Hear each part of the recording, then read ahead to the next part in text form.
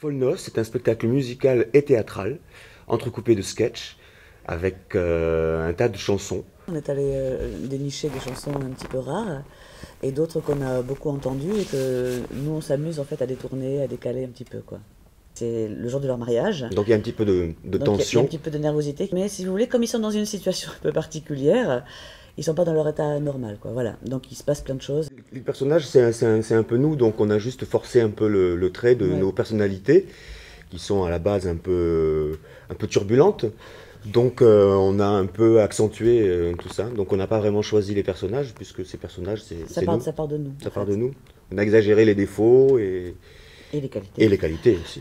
Alors comment on a choisi les chansons? On a choisi d'abord des chansons qu'on aimait, qu'on avait envie de, de- de détourner, de, de décaler.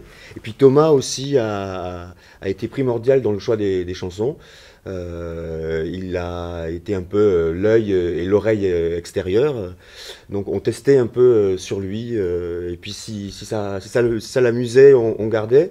Si ça l'amusait pas, euh, ou on retravaillait, ou on, ou on laissait tomber, on passait à autre chose. Voilà, on oubliait. C'est tout public, vraiment. Et euh, on, le, on le vérifie tous les Ouais. soirs. Il y a des enfants, il y a des ados, il y a des personnes plus âgées. et, euh, ça parle vraiment à tout le monde parce que c'est très, très, très joyeux, très généreux, très, très festif. Très éclectique. hein. Le répertoire, ça va de euh, Fernandel à Elie Medeiros, en passant par. euh, euh, Il y a du Tiefen, il y a du Paul Naref, il y a du Dalida, il y a du Michel Sardou. C'est c'est très, très large, quoi. Et puis c'est très visuel.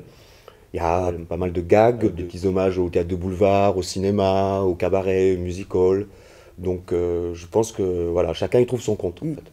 Il faut venir voir cette pièce parce oui. que c'est un excellent euh, moyen pour attendre les vacances, déjà. Oui.